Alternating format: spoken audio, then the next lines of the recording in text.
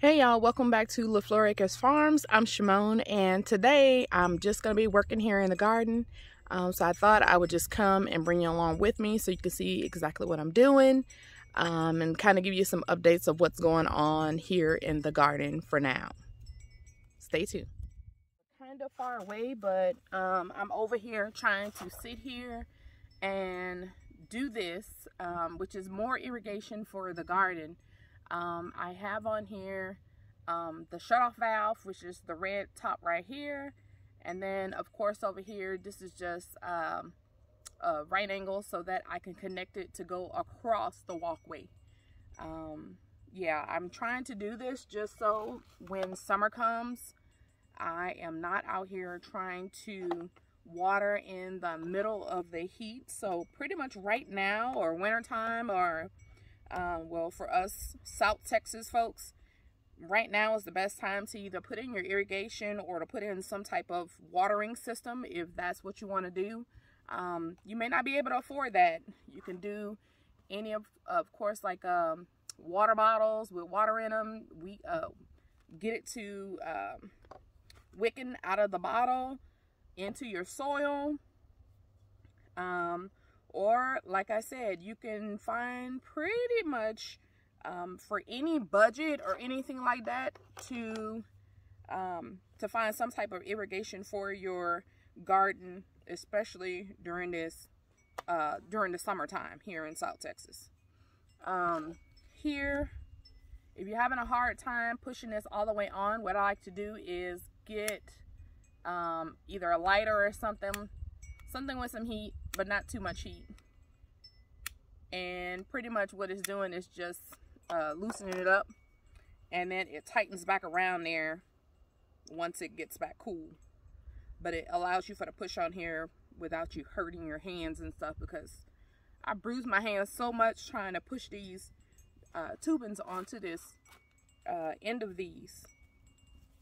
But yeah so now it is done so I have now this long piece right here with a shut-off valve and that allows me to turn it off for the sections that I need to turn off in case there's like something going on with the, the sprinkler in the bed. And each one of the beds have one of these. And then I also put some down the walkways just in case I need to repair, fix or anything like that, the actual tubing where the water comes out. And then, yeah, it kind of helps you out a little bit. Um, like I said, these are really, what I'm using here in the garden is really inexpensive. I'm not using any fancy name brands or anything like that. It gets the job done. In my previous garden, I used these, these or any other cheaper ones, and they worked out just fine for me. So just do with what you have in your budget. Um, yeah, doesn't need to be fancy, guys anyway, so I'm going to go ahead on and connect this onto um, the piping that, the tubing that I already have down here. And then I'll show you guys what it actually looks like. But I'm trying to keep it together, y'all. Trying to do what I can with what I can.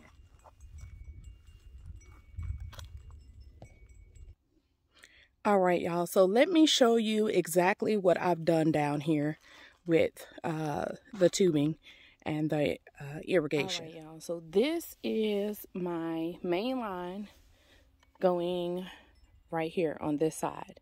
And then I wanted it to come across my pathway on this side um, so that I can get irrigation over here to these two beds. So, excuse the lemon tree. It's not dead, y'all. It's still green. Um, it's from the freeze and the shade and the the freeze cloth that I used was not a good one. So, um, anyway, back to this.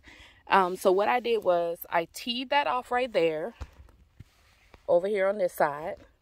And then I came across, I used landscape staples, put one there just so there's like no tripping hazard or anything like that. Came across, that is the shut-off valve that I showed you already. And then on this side, another long, uh, a landscape staple another one to keep from tripping, and then my piping, my tubing, sorry, goes all the way down there. So um, it will cover these two beds, these two beds, and anything that I put up here in the front so that they're able to get watered the same time my other stuff gets watered. So as y'all see, after that hard freeze that we had, a lot of stuff did not come back. Um, and I was waiting for a little bit of time to pass by. I still have a couple greens there. Um, I've added more compost on here and now I just need to get some wood chips to put it on top or some hay or straw to put it on top just so that the soil is covered. I've also added a sprayer down the middle here on each one of my beds. Um, that way, at least it's getting watered because it only had two drip lines on each one of those. Um, yeah, so now I'm making sure everything is going to be able to get watered, especially during the summertime, getting prepped for that. And yeah, y'all, it's coming together slowly but surely, but I'm really excited that it is finally, finally, finally looking like an actual garden now. Um, I have some things I need to do up here in the um, entrance and then we'll do a full garden tour once I get um, my messy corner over there cleaned up um, and a couple other things cleaned up. So we'll do a garden tour soon. Um, but for now, thank y'all for watching. I do appreciate it. Um, yeah, that's about it, y'all. So make sure you like, comment, and subscribe. Um, and of course, if you have any comments or anything you would like to see or every, anything that you want to comment on here in the video, make sure you do that too. Um, make sure you hit that notification button. Um, thanks y'all for watching. Be blessed. Bye.